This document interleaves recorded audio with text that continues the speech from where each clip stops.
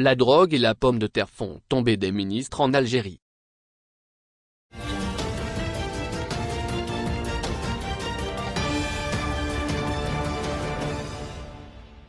Encore des limogeages à la suite de plusieurs scandales qui ont ébranlé des départements ministériels. Ce jeudi 11 novembre, en fin de journée, la présidence algérienne a annoncé le limogeage et le remplacement de trois ministres du gouvernement actuel dirigé depuis le 30 juin dernier par Ayman Ben Abderrahman. Les ministres qui ont été chassés du pouvoir sont impliqués dans des scandales qui ont remué l'opinion publique. Des scandales longtemps étouffés et reniés par les autorités algériennes. D'abord, Amar Bellimer.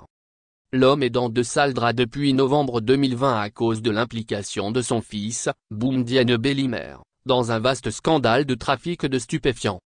Incarcéré à la prison de Belacel dans la wilaya de Relisane depuis la fin du mois de mai 2021, le procès du fils d'Amar Bellimer, ministre de la Communication et porte-parole du gouvernement algérien depuis le 4 janvier 2020, est officiellement programmé le 28 novembre prochain au tribunal criminel de Relisane, comme il a été révélé récemment par Algérie par qui est le seul média algérien à avoir traité en profondeur et dans de nombreuses publications ce scandale passé entièrement sous silence par les autorités algériennes. Il faut savoir que ce scandale a éclaté au mois de novembre 2020. À cette époque, c'est le chauffeur du fils d'Amar Bellimer qui avait été interpellé par les services de sécurité lors d'un barrage routier dressé à l'entrée d'eau de Rioux. Ce chauffeur était en compagnon d'un autre ami du fils d'Amar Bellimer, un certain Nazim El, qui est aujourd'hui en fuite à l'étranger. Lors de son arrestation, le chauffeur du fils du porte-parole du gouvernement était en possession d'une quantité supérieure à un kilogramme de kiff traité. Placé en détention provisoire, le chauffeur du ministre de la Communication a fait ensuite l'objet d'une instruction judiciaire qui avait été confiée à un juge relevant du tribunal d'eau de Rioux. Au fur des auditions, le chauffeur de Boumedienne Bellimer a fini par cracher le morceau en reconnaissant qu'il accomplissait plusieurs voyages entre les localités de l'ouest algérien et la capitale Alger pour transporter plusieurs quantités de kiff traités. Ces voyages étaient orchestrés avec la complicité et la participation active de Boumedienne Bellimer. Prenant en compte la gravité de ces agissements dignes d'un réseau de narcotrafic, le juge d'instruction près le tribunal de Haut-de-Rioux a décidé d'inculper officiellement Boumedienne Bellimé en le soumettant à un mandat d'arrêt afin de permettre aux services de sécurité de procéder à son arrestation.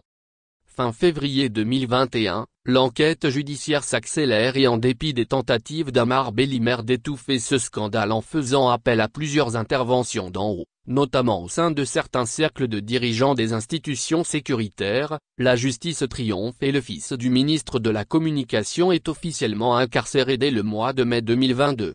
Cinq autres trafiquants de drogue ont été identifiés par les services de sécurité grâce au témoignage du chauffeur d'Amar Bellimer.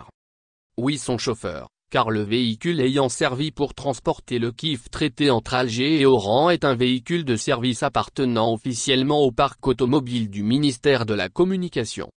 Le chauffeur indélicat était détaché au service de famille du ministre et son fils, Boumédia Bellimer, en a profité pour l'enrôler dans ses affaires de trafic de stupéfiants.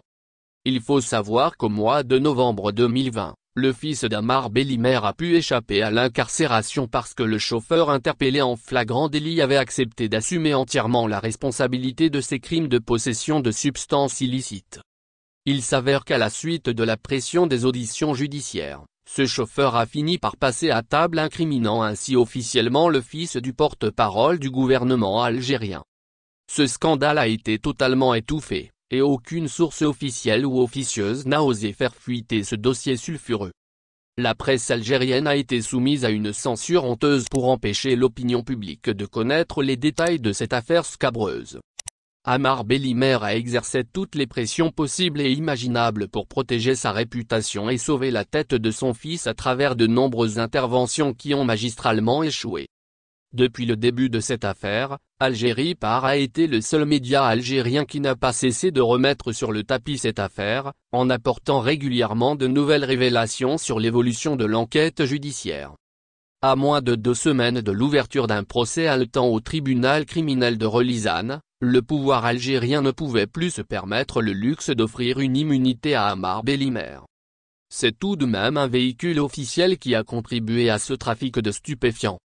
C'est toute la crédibilité de l'État algérien qui en prend un coup très sévère. Embourbé dans les problèmes structurels dont souffre cruellement le pays, le palais présidentiel d'El Mouradia a décidé ainsi de lâcher l'encombrant Amar Bellimer. Ce dernier est contraint de quitter son bureau douillet en laissant derrière lui un ministère discrédité et sali par un scandale de stupéfiants. Au ministère de l'Agriculture, c'est la pomme de terre, et non pas la drogue, qui a provoqué la disgrâce au ministre Abdelhamid Hamdani. Ce dernier a été incapable de juguler la crise de la pomme de terre qui a atteint des prix vertigineux, faute d'une production locale digne de ce nom et d'une politique rationnelle de distribution des produits alimentaires. Le tsunami inflationniste qui a ravagé les marchés de proximité a dévoilé l'ampleur incroyable de l'impuissance de l'agriculture algérienne qui n'a jamais pu répondre aux besoins élémentaires de la population algérienne, obligeant récemment le gouvernement à recourir encore une fois aux importations pour réduire l'impact chaotique des pénuries et augmentation des prix de nombreux produits agricoles. Abdelhamid Hamdani a longtemps berné Abdelmajid Tebboune en lui présentant des rapports faussés, des chiffres mensongers et des statistiques sur la production nationale qui n'ont strictement aucun lien avec la réalité agricole du pays. Soulignons enfin que ce ministre est lui aussi cité dans un scandale de corruption lié aux attributions illicites de plusieurs milliers d'hectares de terres agricoles aux richissimes oligarques de l'ère Bouteflika. Oui, peu de gens le savent, ce ministre de l'Agriculture démis jeudi de ses fonctions était l'ancien directeur central de l'organisation foncière, de la mise en valeur et de la protection des patrimoines au niveau du ministère de l'Agriculture.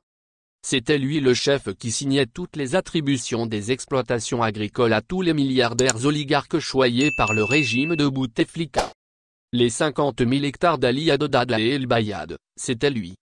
Les presque 10 hectares et El Bayad pour Takout, c'était également lui. Les plus de 20 000 hectares à Saïda, Mascara, El Bayad ou Adrar pour le député FLN corrompu Abdelmalek Saraoui, c'est encore lui. Et la liste est encore longue et de nombreux autres milliardaires, députés, personnalités civiles ou militaires à la retraite se sont servis dans le patrimoine agricole de l'État pour bâtir des exploitations agricoles financées, de surcroît, par de nombreuses aides financières publiques. Aujourd'hui, il est temps que le sieur Abdelhamid Hamdani rende des comptes.